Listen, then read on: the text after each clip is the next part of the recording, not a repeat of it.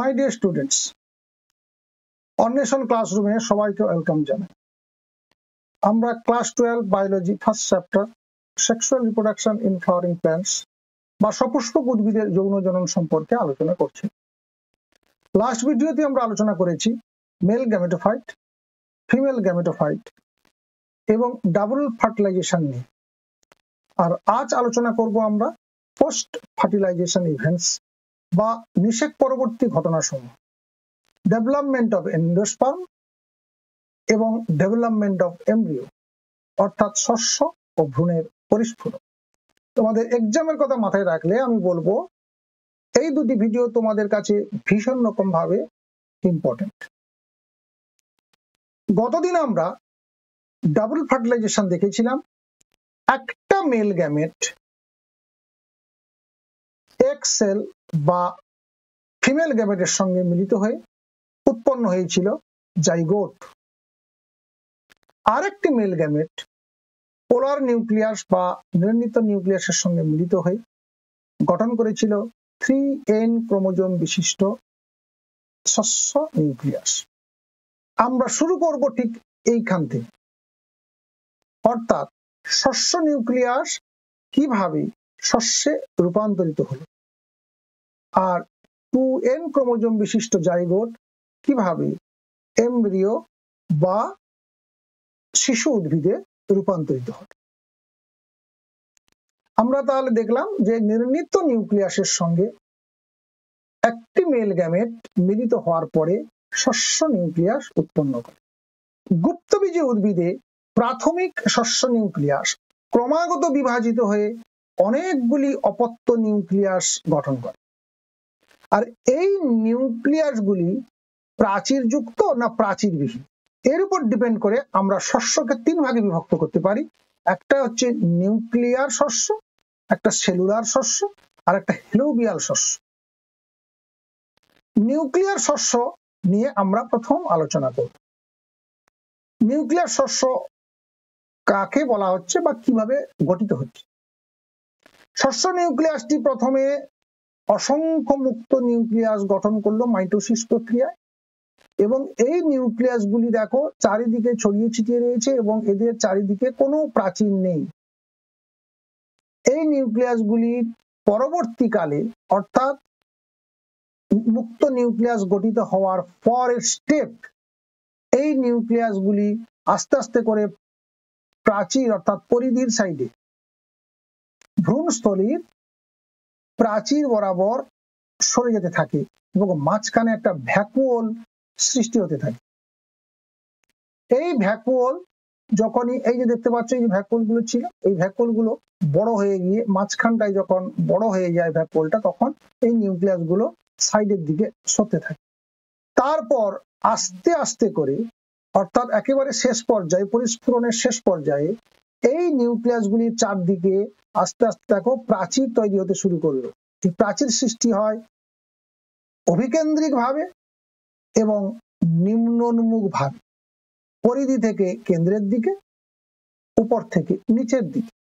এইভাবে আস্তে আস্তে করে প্রাচীর তৈরি হয়ে গেলে তখন এগুলি কোষে রূপান্তরিত হয়ে গেল এবং একাধিক কোষ ধীরে ধীরে করে উৎপন্ন হয়ে এখানে শস্য কলা সৃষ্টি করল বা শস্য উৎপন্ন করল।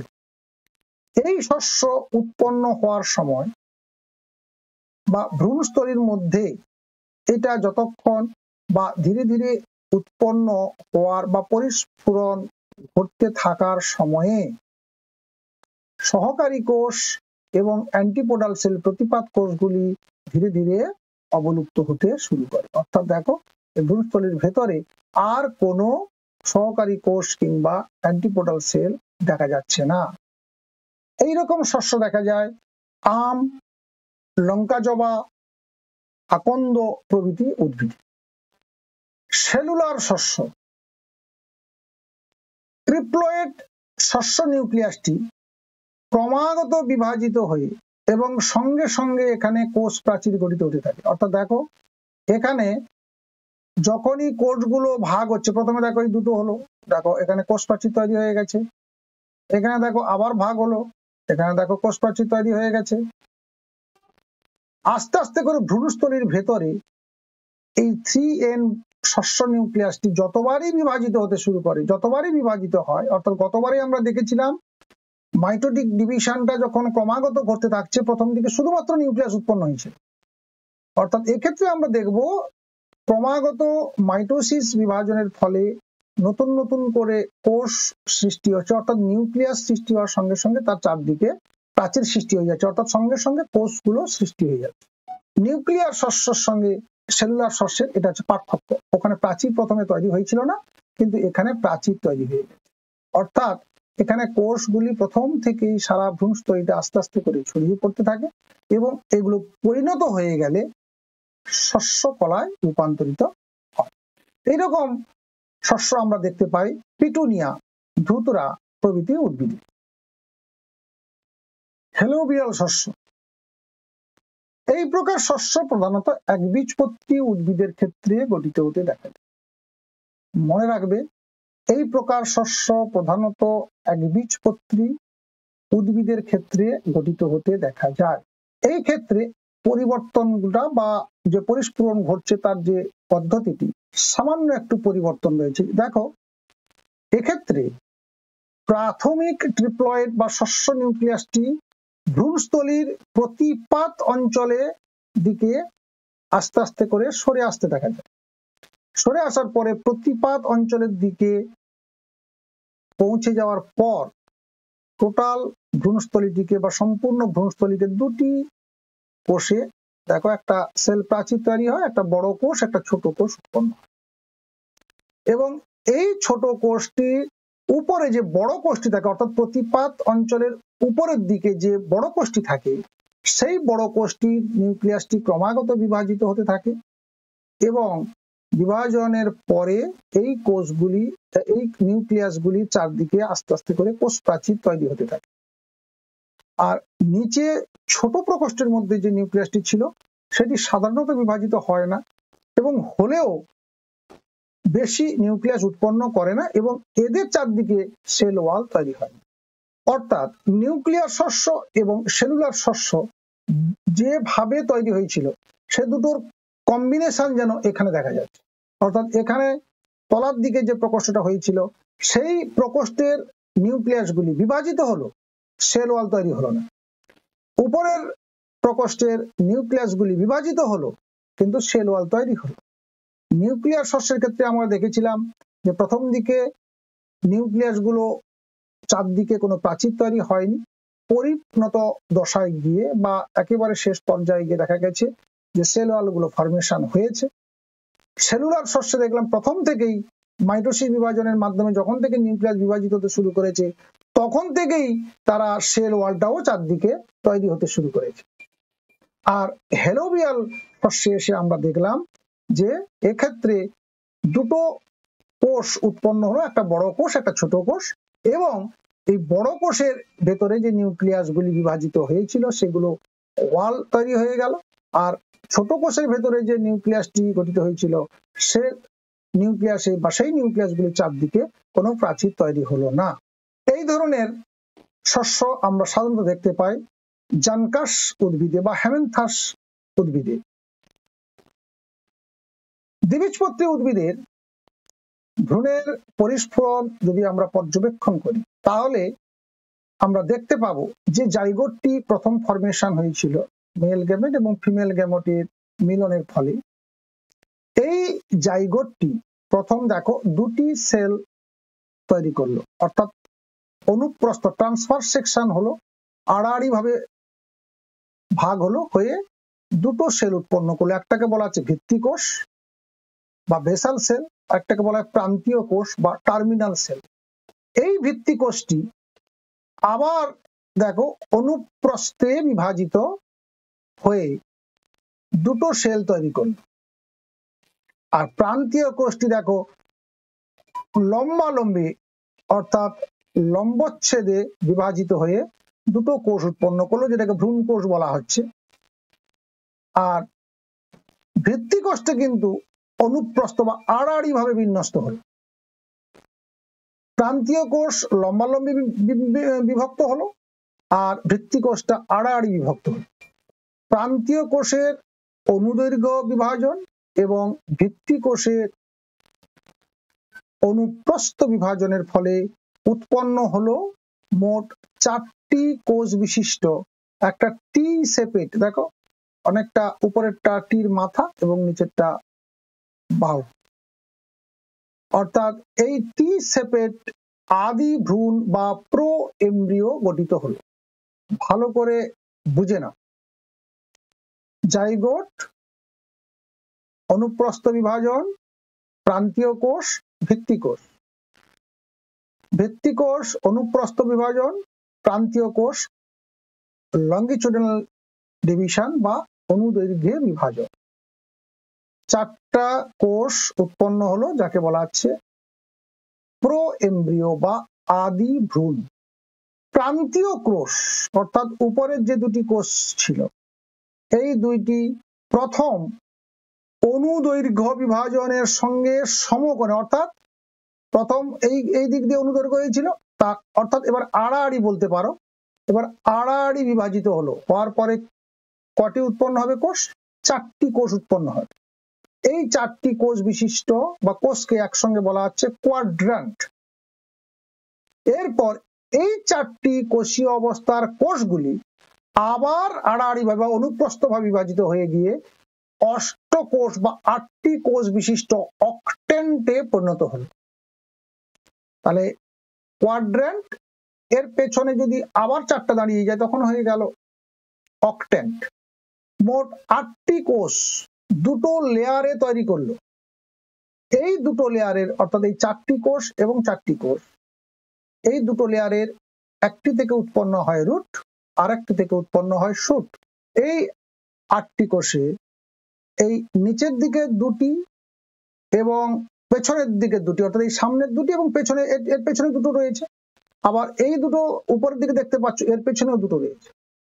এই আটটি কোষের এই নিচের দিকের যে চারটি কোষ ছিল, সেই চারটি কোষ বীজ পত্রাবকাণ্ড বা হাইপোকটাইল এবং ভ্রূণ মূলের অন্তঃশ্বাস বা কোর অফ রেডিক্যাল ফরমেশন করে।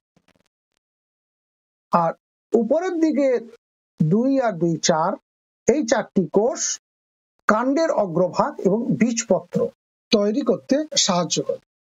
এরপর এই অষ্টকোষ অবস্থায় আটটি কোষ বাইরের তলের সঙ্গে সমান্তরালভাবে বিভাজিত হয়ে একাধিক কোষ উৎপন্ন, পরপর পরপর কোষের সংখ্যা বৃদ্ধি করতে থাকে এবং প্রথম দিকে এটা গ্লোবিউলার বা গোলাকার ফরমেশন নেয়, আকৃতি নেয়।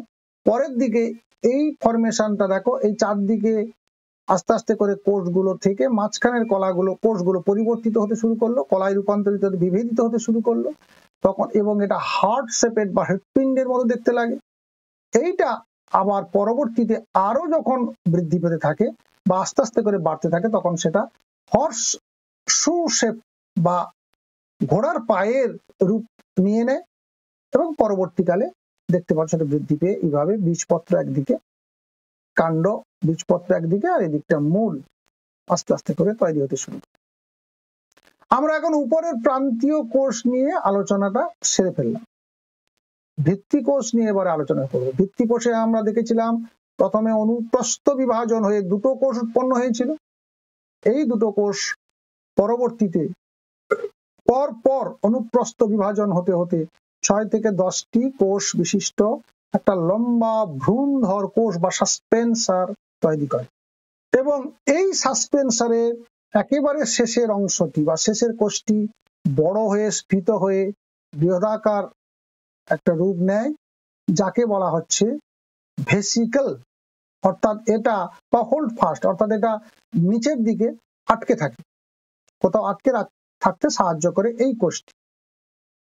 এবং এই ছয় থেকে দশটি কোষের এই লম্বাটে অংশ, অংশটিকে বলা হয় ভ্রূণধর কোষ বা সাসপেন্সার সেলস।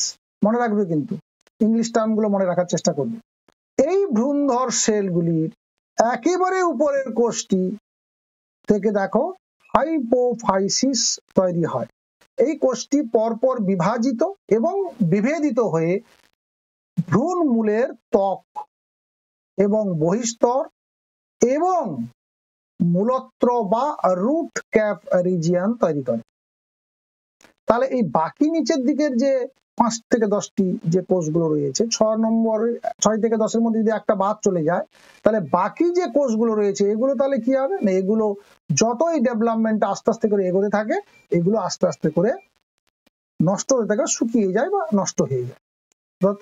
এই বডিটি থেকে ডিটাস্ট হয়ে যায় পরবর্তী পর্যায়ে। এই হাইপোফাইসিস থেকে উপরের দিকের অংশটি মূলত থেকে যায়। নিষেকের ফলে এই যে ডিম্বকে রূপান্তর হতে শুরু করল, ডিম্বক শুধু ভ্রূণ বা শস্য নয়, অন্যান্য যে সংশ্লিষ্ট কলাগুলো রয়েছে, সেগুলো সবটাই দ্রুত বৃদ্ধি ঘটে থাকে। আমরা শুধুমাত্র জায়গোটি নিয়ে আলোচনা করলাম। খাদ্য যোগান পাওয়ার পর ভৌত ও রাসায়নিক পরিবর্তন ঘটতে থাকে ডিম্বকের ভিতরে। এবং ডিম্বকের ডিম্বক ত্বকের প্রকৃতি দ্রুত পরিবর্তন হয়ে কঠিন এবং শুষ্ক হয়ে বীজ ত্বকে রূপান্তরিত হয়ে যাচ্ছে ইতিমধ্যে ডিম্বকে জলের পরিমাণটাও কমে আসতে থাকে, সেই সঙ্গে নরম রসালো ডিম্বক ক্রমশ পরিবর্তিত হতে থাকে, অপেক্ষাকৃত কঠিন এবং বীজে রূপান্তরিত হয়। এই হলো জাইগোটের সম্পূর্ণ রূপান্তর। এই পর্যন্ত আজকে তোমাদের আলোচনার বিষয় ছিল। আশা করি তোমরা পরিষ্কার ভাবে সবকিছু বুঝতে পেরেছ। যদি কোনো সমস্যা থাকে তাহলে অবশ্যই তোমরা কমেন্ট বক্সে লিখে জানাও। দরকার পড়লে আরও একদিন এই বিষয় নিয়ে আলোচনা করা যেতে পারে। মেল গ্যামেটোফাইট ফিমেল গ্যামেটোফাইট এবং আজকে যেটা আলোচনা হলো এমব্রিও এবং এন্ডোস্পার্মের ডেভেলপমেন্ট ভালো থাকবে, সুস্থ থাকবে। নেক্সট দিন আবার নতুন একটা ভিডিওতে তোমাদের সামনে অবশ্যই এসে হাজির হব।